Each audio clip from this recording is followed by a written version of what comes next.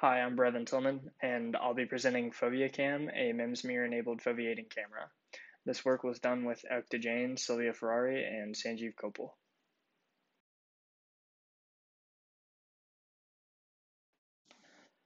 Various animal eyes selectively distribute resolution to important areas in their field of view. Selective imaging is crucial for efficiently expending neuronal resources only where it matters.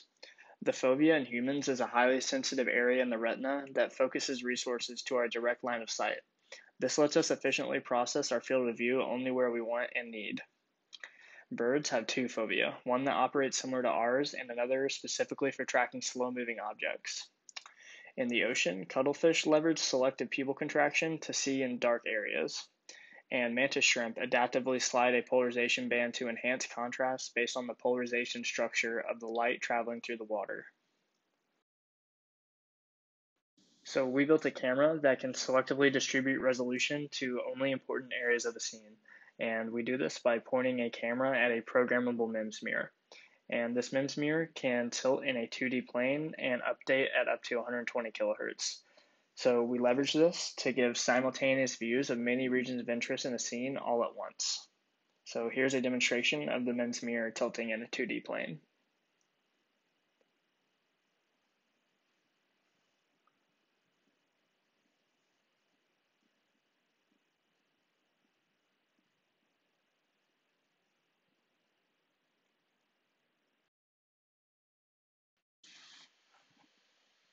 Here is a demonstration of FoveaCam. The top right is the raw footage of the MEMS mirror swiveling between the two red objects in the scene.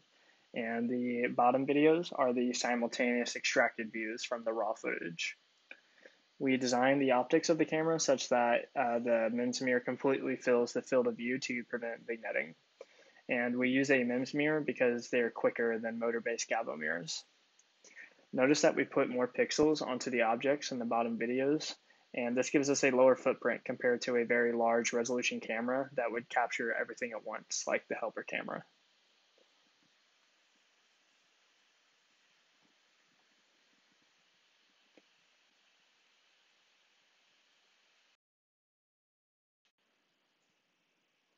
Here's the FoveaCam prototype. We use a 3.6 millimeter Mirrorcle MEMS mirror a 220 hertz FLIR machine vision camera equipped with a 35 millimeter lens.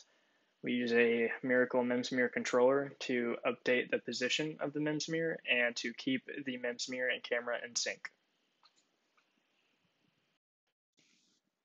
Our work is similar to catadioptric cameras, which focus on inserting mirrors into a camera's field of view.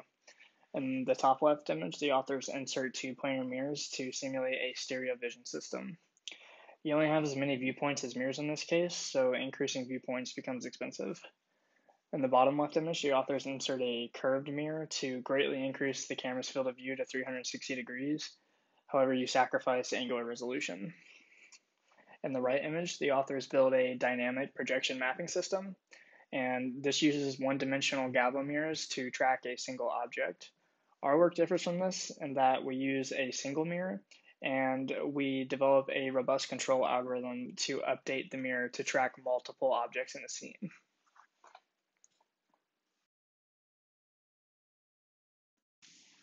Mirrorcle MEMS mirrors come with a cover glass protecting the MEMS mirror. In the specific model we had, the cover glass reflected significant amounts of light in the visible ranges. In the left column, you can see this induces significant ghosting artifacts. So to overcome this, we insert a bandpass filter because within the 800 to 900 range, the cover glass reflected the least amount of light.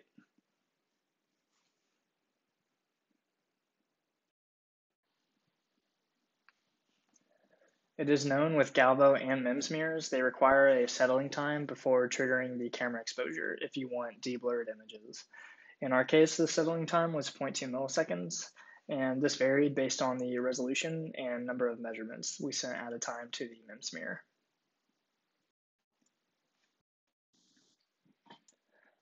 To begin explaining how we control our foveating camera, view this demonstration of what we would like the foveating camera to do. So the red square is the foveating camera's entire field of view, and we would like to distribute this square onto all regions of interest in the scene.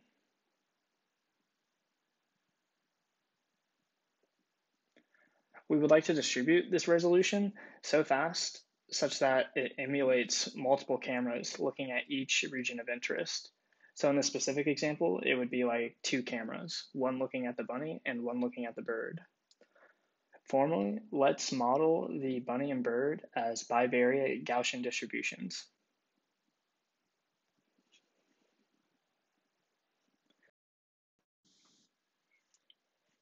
QR is the current scan path the MEMS takes between regions of interest, and F1 and F2 are the centers of the respective bivariate Gaussians. Finally, UR is the control vector for how we update QR.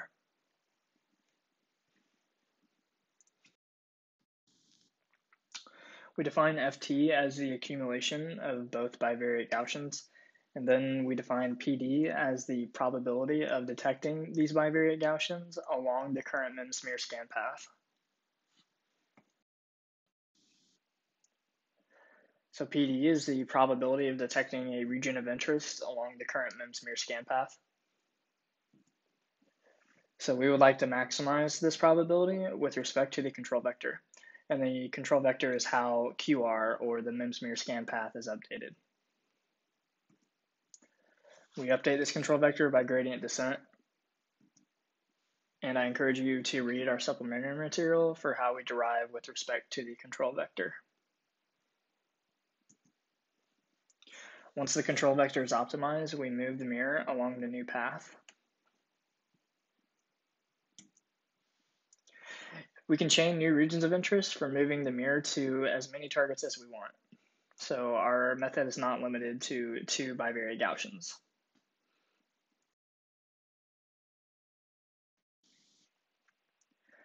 We show the utility of placing higher angular resolution onto regions of interest with our camera by comparing it to a smartphone and eye tracking applications. To do this, we implement the eye tracking for everyone network, and this network was trained on smartphone images and it outputs an XY coordinate of where the user was looking on their screen. Our data has a different color distribution and eye angle pronunciation than the data used to train the eye tracking for everyone network. Our data was taken at 3 meters, whereas the data used to train the eye tracking for everyone network was taken at 25 centimeters. To overcome this, we fine tuned the network with a spread out training pattern.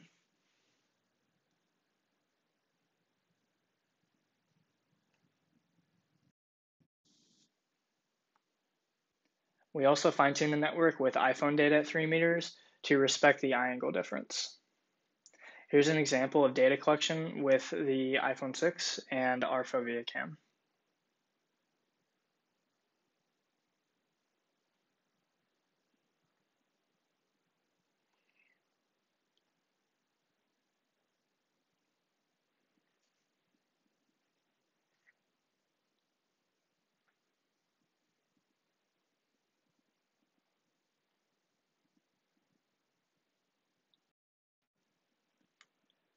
Here's a qualitative comparison between FoveaCam and the iPhone 6. The first row is one test set and the bottom row is another test set. The ground truth is in red, FoveaCam is in blue, and the iPhone 6 is in green.